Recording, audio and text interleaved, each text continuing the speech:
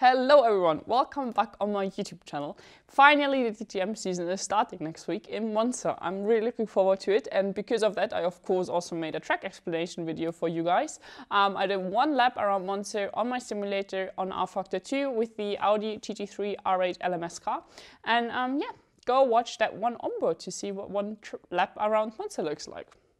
Let's go for one lap around Monza in a GT3 car. I mean, I'm normally used to drive quicker cars around there, but also that GT3, it's quite a lot of fun. And um, yeah, you go down the main straight, um, which is a long straight, fifth gear, sixth gear, and then you go to the first chicane, which is um, a really slow chicane in first gear. Um, you brake around 150 meters, I would say. Um, and really, yeah, stop it, try to take the inside curbs and really try to focus on the exit. Traction control is normally hitting there quite a lot, um, but then you have a long straight afterwards with the right hander with the kink, which is easy flat also in a GT3 car, going down to the second chicane, which is a little bit quicker in, in second gear. Um, brake point is at the bridge kind of um, to actually get that st car stopped. From six, you shift down to second.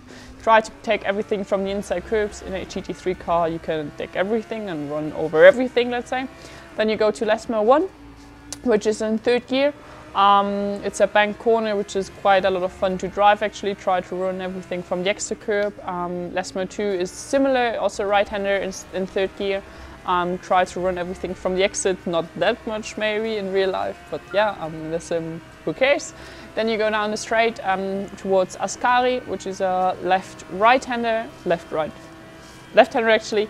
Um, you arrive in sixth gear, brake at the bridge kind of, um, and go down to third. Try to take the inside curb on the on the left side, and then try to run everything um, for taking the speed towards Parabolica, which is um, the last corner of Monza. It's a right-hander, and um, in in third gear um, yeah, you have to wait quite a long time to get there actually. Um, so yeah, shift down to third and then just try to take the speed through the corner and towards um, yeah, the main straight again. And then you did one quick lap around Monza in a DTM R8 car. That was one lap around one of the quickest tracks worldwide. Um, yeah, it's been fun. I hope you actually liked that video. Give it a thumbs up.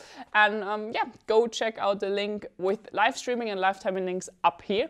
And then here you find all the free practice, qualifying and race times. So you can actually cross your fingers again and see me race next weekend.